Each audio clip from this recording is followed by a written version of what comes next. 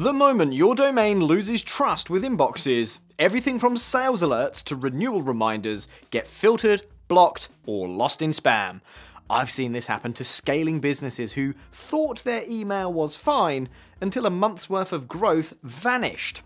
Here's the good news it's not random. In this video, I'll show you the 5 overlooked mistakes that get business domains flagged, how to spot trouble before it lands in your dashboard, and most importantly, what to do to fix it.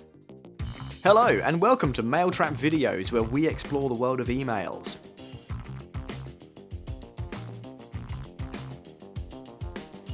For the sake of this video, I've worked closely with deliverability specialists from Mailtrap, people who have years of experience working with companies that send millions of emails a month. Everything you'll hear today comes straight from real life lessons and proven tactics used to solve deliverability problems before they escalate. Let's not sugarcoat it. When your domain gets flagged, the consequences are more dire than your marketing emails missing a few inboxes. We're talking about trust eroded with your most valuable customers, extra support costs from users chasing missing invites and password resets, upsell pipeline lost because product updates and offers go unseen, revenue missed when renewal or billing emails never arrive. By the time your dashboard is full of alerts, you're already behind. The best deliverability experts I know never wait for the crisis.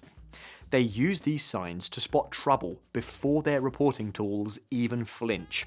Internal test emails landing in spam, you or your team send yourselves a test campaign, and instead of being in primary, it's hiding in spam or promotions.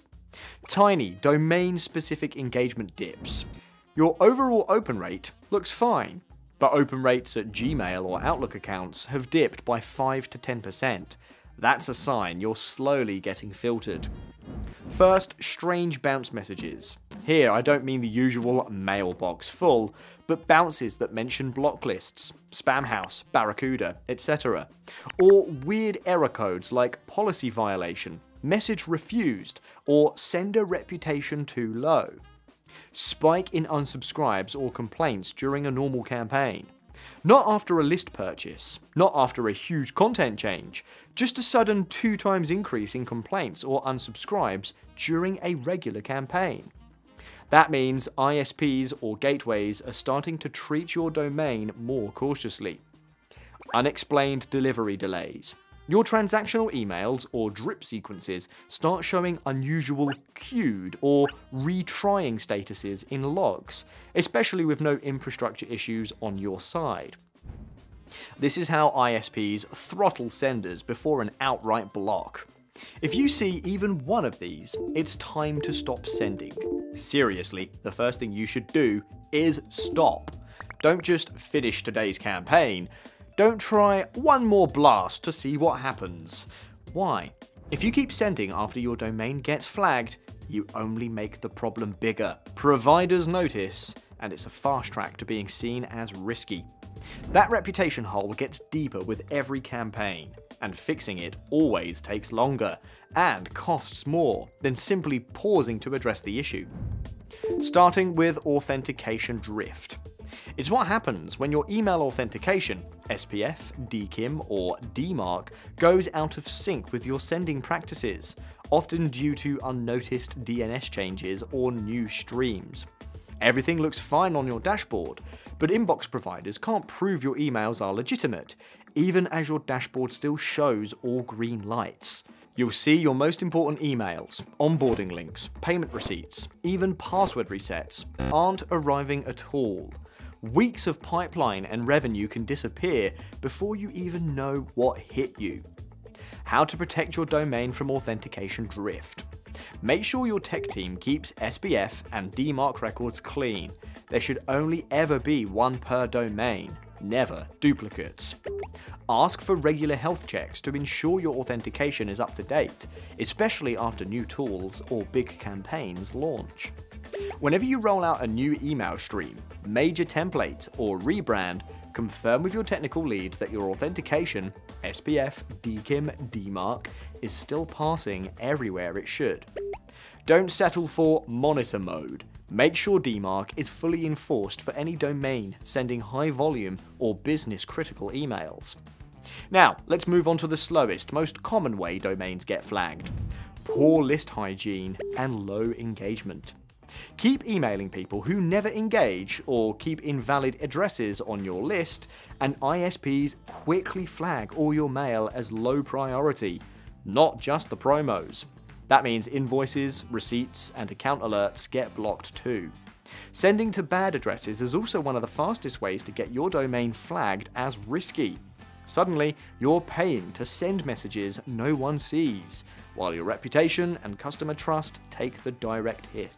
Keep your list hygiene bulletproof. Assign clear ownership for list management. Make list cleaning someone's recurring responsibility, not an occasional to do. Most ESPs handle basic bounces and unsubscribes automatically, but ask your team to review suppression reports and spot any patterns. Don't assume the system catches everything. Have your marketing or ops team regularly audit the list and remove contacts who haven't engaged in 6 plus months. If no one's checking, you're leaving money and reputation on the table. Make sure every sign up and web form is protected with email verification and bot filtering. Don't let fake or junk addresses poison your list. Never send to purchased, scraped, or unverified lists. We've covered how slipping on list quality or letting bad data in will get your domain flagged fast. But even a clean list isn't enough if your sending habits change overnight. So, what actually happens when you suddenly increase your volume, launch a new campaign, or bring in a different IP. We'll get to that in a second, but before we do, make sure to hit subscribe so you catch every deliverability fix when it drops. Be always one step ahead. Now, let's get into what really happens when your send volume jumps, or when your team brings new IPs or systems online. ISPs and security gateways love stability. If your sending pattern jumps from 10k to 250k in a week, or you start using new IPs without warning, you look suspicious, like a potential spammer. Campaigns will vanish at the worst moment, product launches will miss, sales pushes will fall flat, and business as usual emails, like password resets, will get delayed or silently filtered. It's easy to say, be more consistent. In reality, that's what you should do. If you need to send from a new IP or domain, make sure your ESP manages the rollout gradually, starting with your most engaged users, not the entire list at once. See if your ESP keeps transactional and marketing streams isolated, using separate domains or IPs. Sure, your team can separate streams manually, but that's more work and leaves more room for error. At Mailtrap, each stream is separated by design, so issues with marketing campaigns never impact your business critical transactional emails. Before any big campaign or seasonal search, coordinate with your ESP to review your expected send volumes and timing. Give them advance notice so they can adjust settings, spread out delivery, and help you avoid sudden spikes that could get you flagged by ISPs. After any major change or volume spike, rely on your ESP's monitoring to flag delays, bounces, or delivery issues. Good providers have this built in. But make sure your team is set up to receive those alerts and is ready to pause sending and investigate when something looks off. And even when you do everything right, your IP's reputation, yours or your neighbours, can still get flagged. With a dedicated IP, your reputation is all yours, but that also means you have to keep it warm. If you stop sending regularly or your volume drops too low, the IP goes cold. ISPs notice, and next time you try to send at scale, your emails look suspicious. With a shared IP, you benefit from a collective reputation and regular activity of all senders in the pool. This, however, means that if one sender in your pool makes a mistake, spam, bad list, block his lit, you also feel the consequences. Your clean campaigns can end up in spam or blocked just because of someone else's screw up. Most businesses underestimate how fragile this balance is. How to make sure your IP works for you, not against you. If you use a dedicated IP, ask your ESP or email team how they're keeping it active and trusted year round. Don't let it go cold. For shared IPs, request regular updates on pool health and transparency about who's sending alongside you. If your provider can't give clear answers, escalate or push for a better option.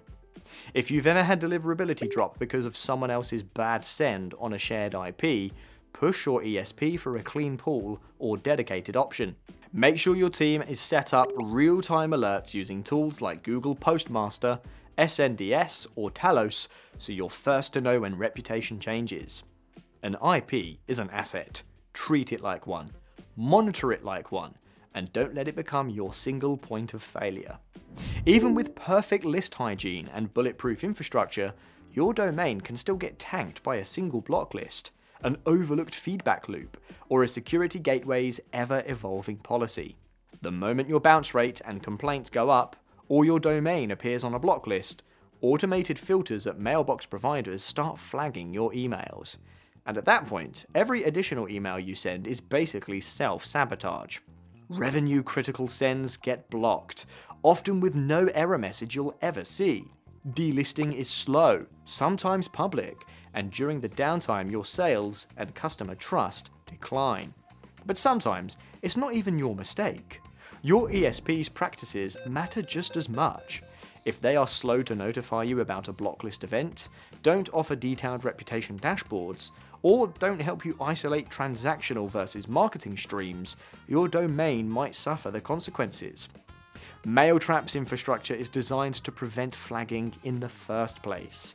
Strict anti-spam and security policies keep risky senders out of your IP pool. Real-time monitoring catches issues before they spread, and you get instant alerts if anything needs your attention. To protect your business from blocklists and sudden policy changes, make sure your team knows exactly who's responsible for pausing sends, investigating issues, and communicating decisions. Improvisation does not work well in the case of crisis. Insist on regular tests for your domains and IPs for blocklist and deliverability issues.